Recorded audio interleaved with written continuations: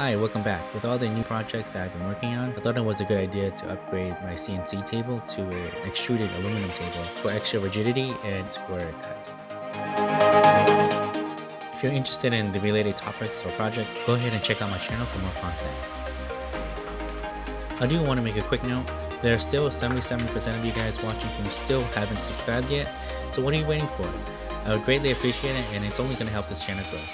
And now let me show you how I put this together. So I have a Shapeoko 3 XXL CNC machine. It came with MDF spoil boards. Now I just have to unbolt the screws in order to remove the spoil board.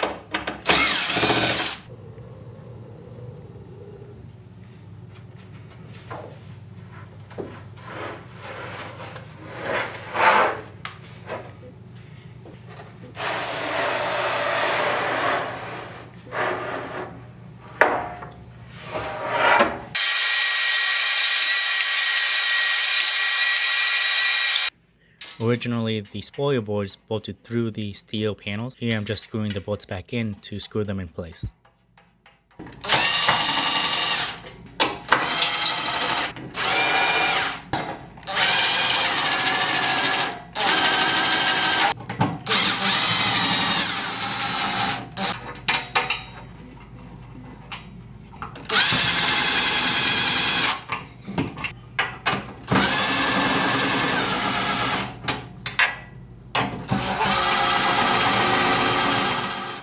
Did a lot of researching and I came across this being the best replacement method for the Shapeoko.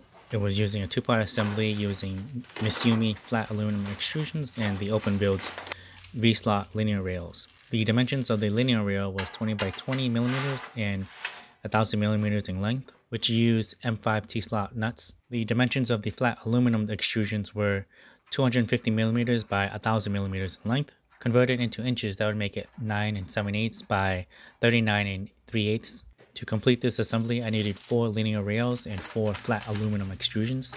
And if you were to square this all up, it would fit perfectly within the frame. The linear rail would act as a bracket for the flat aluminum extrusion. Here, I'm marking the distance from the frame so I can bolt down the linear rails to the frame. In order to consistently square the linear rail, I needed to make sure the T-slots were marked. Then I can bolt the screws to evenly divide the structural integrity.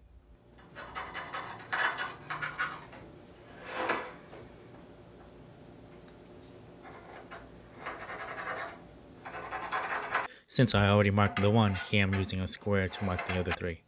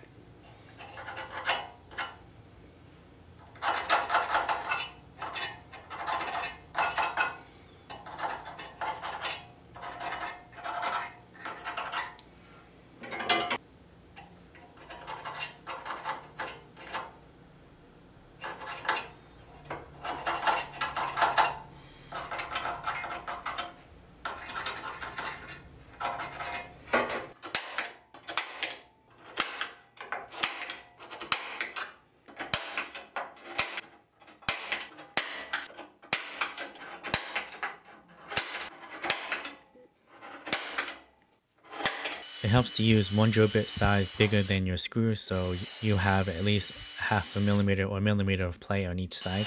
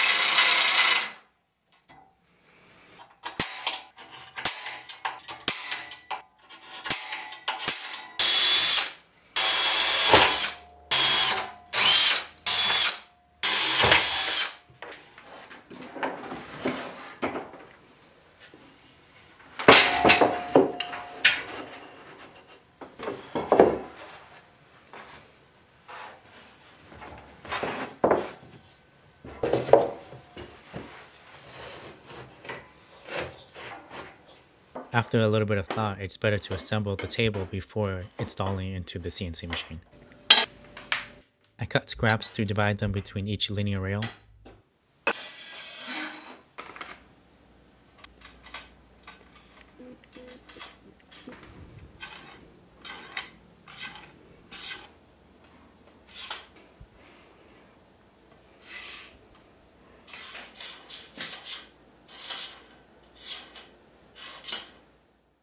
And I use a square block to make a margin to square up the edge. The Misumi flat aluminum extrusion consists of a staggered top and bottom, an M5 T-slot on one side, and an M6 T-slot on the other side. Since the linear reel is an M5 T-slot, I'm going to be using the M5 side for the flat aluminum extrusion. And to bolt this together, I'm using an M5 screw with a 30mm length. For clearance, I need to double up a nut and washer, so I can bottom out the screws without hitting the aluminum extrusions.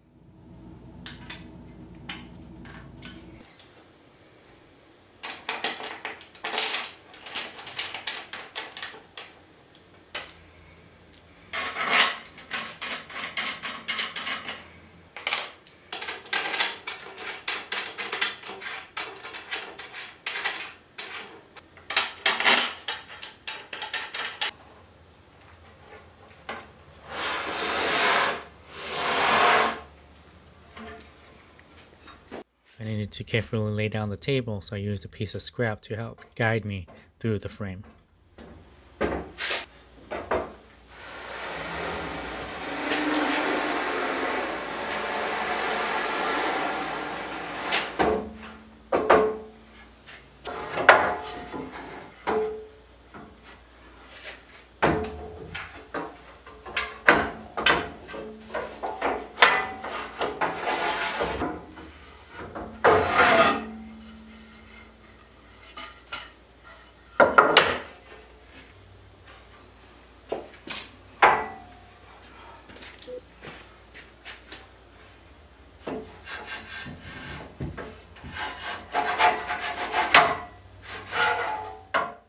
To screw the linear rails to the frame, I used M5 screws with a 25mm length, and I doubled up the washers to make sure I have clearance between the linear rail and the flat aluminum extrusion.